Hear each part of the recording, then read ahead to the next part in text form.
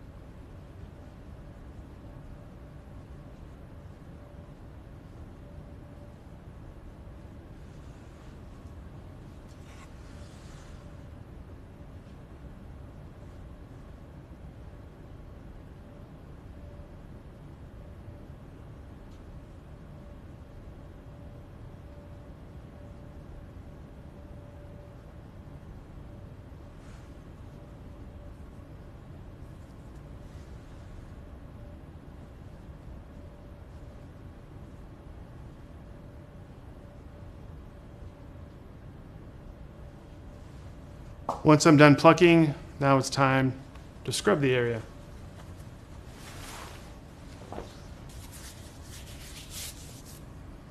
So I use exam gloves,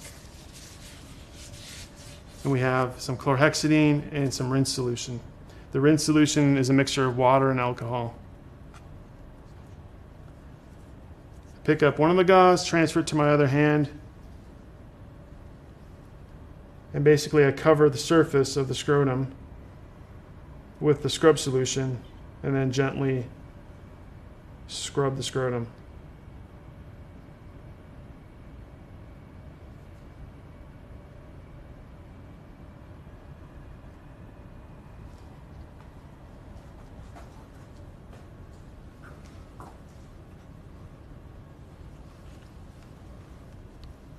Then take some rinse solution squeeze some on there to rinse the scrub solution off.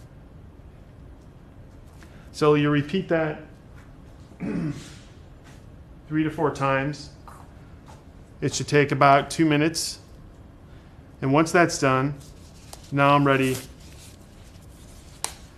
to put some gloves on, sterile gloves, and get my pack ready and start the procedure.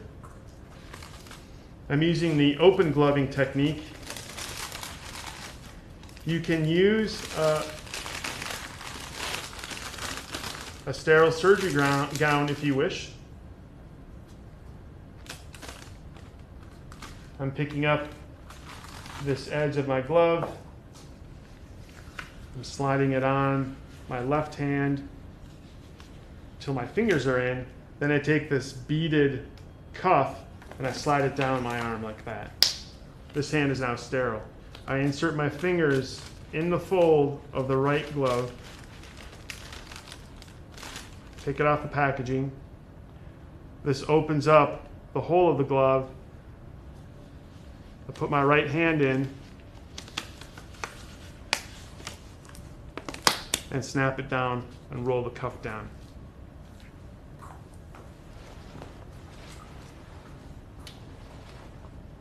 Open up the pack.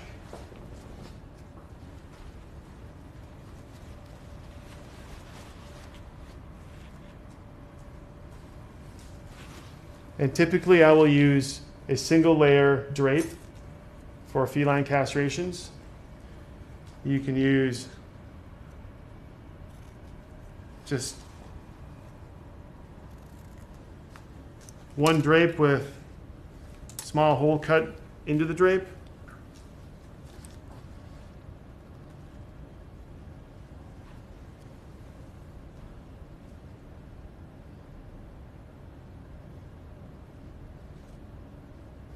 You can also double drape with two layers if you like. I'm going to make an incision over each testicle through the scrotum. I'm going to start with one. And while gently pressing or pinching the testicle, I'll make my incision.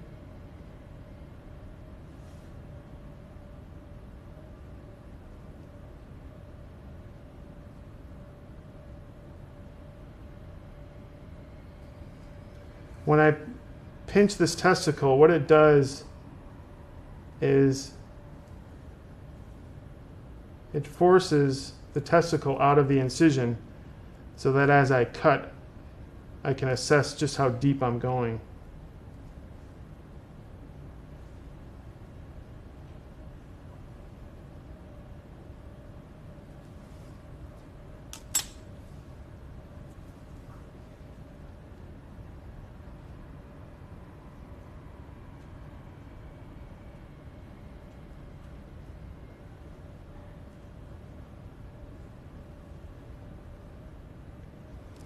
So here's our testicle.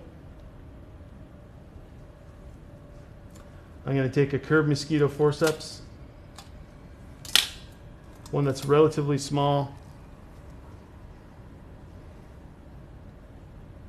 I'm going to wrap it around like this. I'm going to come I'm going to come underneath like that. I'm going to open the jaws and put the spermatic cord in the jaws and clamp. Now I take my blade and I cut the cord.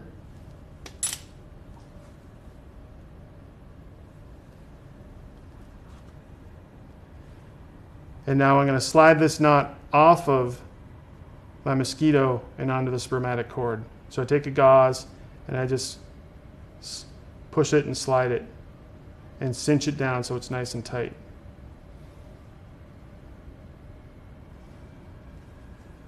I can trim off the extra tissue.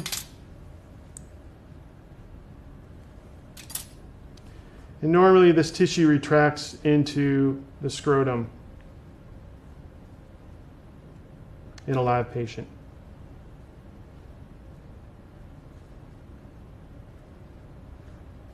Now we'll do the other testicle.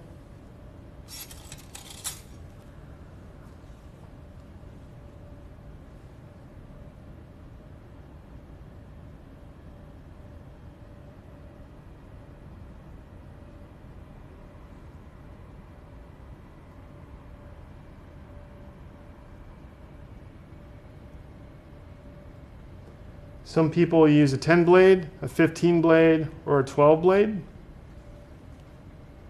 It's whatever you're comfortable with.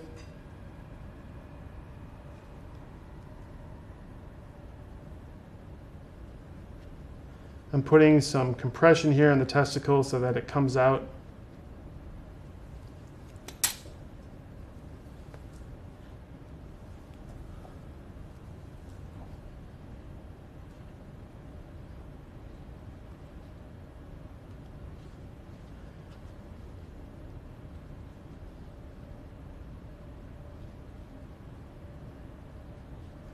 I'm pulling on the testicle.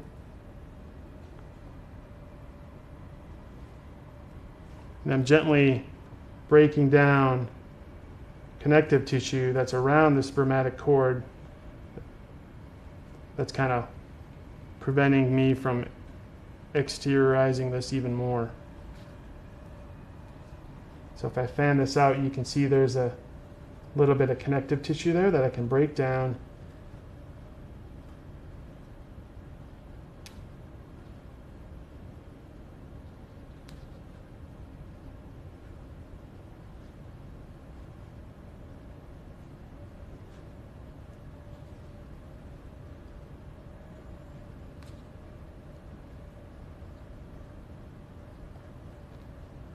Rubbing it with the gauze helps. So now I have about that much length. And I take my curved mosquito forceps. I'm going to wrap it around. And it's a pretty tight leash. Now I'm going to go around again, like underneath, and bring the tips up. I'm going to try to open the jaws. There's not a lot of room.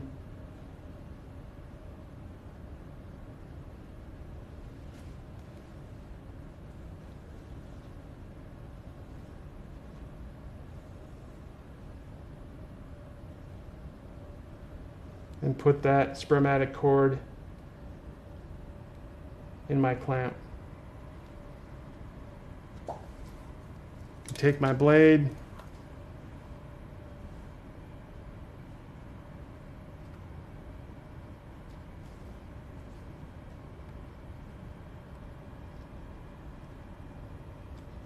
Cut the testicle off.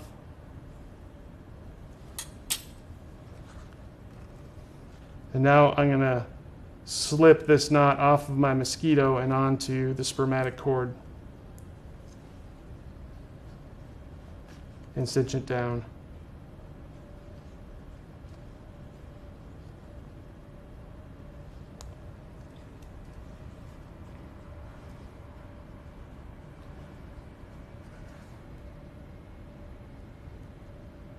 Usually I won't suture these or glue these closed. They seal on their own relatively quickly. They may need an e-collar after surgeries, but that's about it, and that ends uh, feline castration.